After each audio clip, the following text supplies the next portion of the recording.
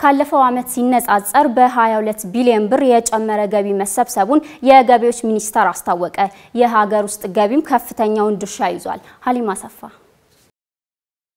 የገቢዎች ሚኒስቴር በ2011 በጀት ዓመት 213 ቢሊዮን ብር እንዲሰበሰብ በሕዝብ ተወካዮች ምክር ቤት ጸድቆለት ነበር።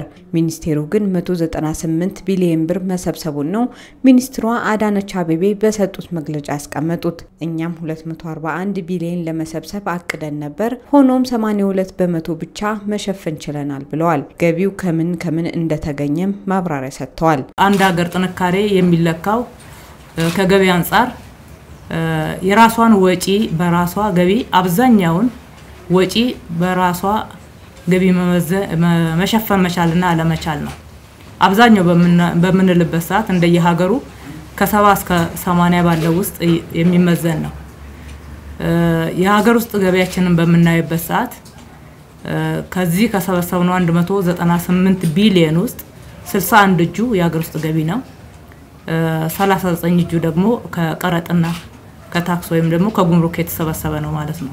የውዝፍ ዕዳ አሰባሰብ ስርዓት መዘርጋቱና ጥብቅ ክትትል ማስፈለጉ ለአቤቱታ አቅራቢዎች ፈጣን ምላሽ መስጠትና የሕግ ማዕቀፍ ማሻሻያ መደረጉን በበጎ ጎኑ ገልጸውታል። በኢትዮጵያ የነበረው የሰላምና ፖለቲካ ሁኔታ፣ ኢኮኖሚውና ኮንትሮባንድ መለመዱ፣ ህቡዕ ኢኮኖሚ አለመኖሩ ማለትም የንግዱ ማህበረሰብ አርባ በመቶ ከግብር ስርዓቱ ውጭ መሆኑ፣ ለግብር መሰወርና ማጭበርበር አሁንም ማስቀረት አለመቻሉ ለአፈጻጸሙ ዝቅ ማለት እንደ ምክንያት አስቀምጠዋል። የተጠናከረ የህግ ማስከበር ስርዓት ከመዘርጋት አንጻር በርካታ ተግባራት መከወናቸውን ነው ሚኒስትሯ የገለጹት።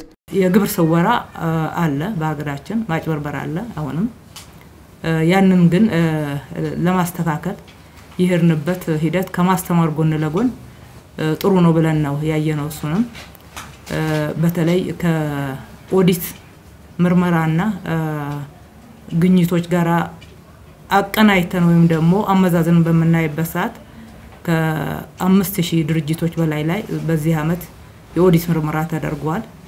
ከሁለት ሺህ ሰነዶች በላይ የጉምሩክ ሰነዶች ላይ የተለየ ድንገተኛ ፍተሻ ተደርጎባቸዋል። በዚህ ከ40 ቢሊዮን ብር በላይ ግኝት ተገኝቶ እንዲሰበሰብ የተደረገበት ሁኔታ አለ።